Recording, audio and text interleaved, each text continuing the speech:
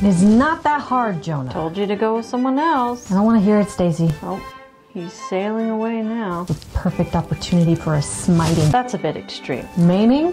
What about a timeout? You can't put him in a timeout in the middle of the water. He'd I drown. have to do everything. What are you doing? Calling a big fish. Hey, God. I don't get it.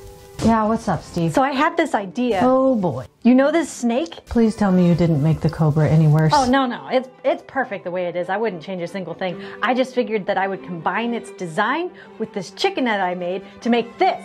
A cobra chicken? No, it's the Canadian goose. Oh.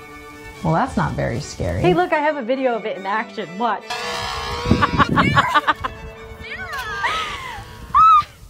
I take that back. Go, Cobra Chicken.